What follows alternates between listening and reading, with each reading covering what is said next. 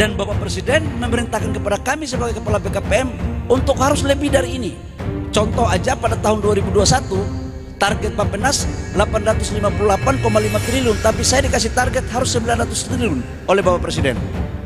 Ya sebagai kader HMI tidak boleh mengatakan mundur. Kita tetap yakin usaha sampai. Yakin dulu kita kerjakan dulu. Kalau ada halangan baru kita perbaiki dari belakang. Yang penting maju dulu. Jadi yang bisa merubah negara ini ya kita-kita ini.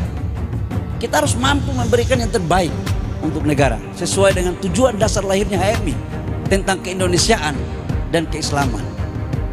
Tujuannya adalah kesejahteraan.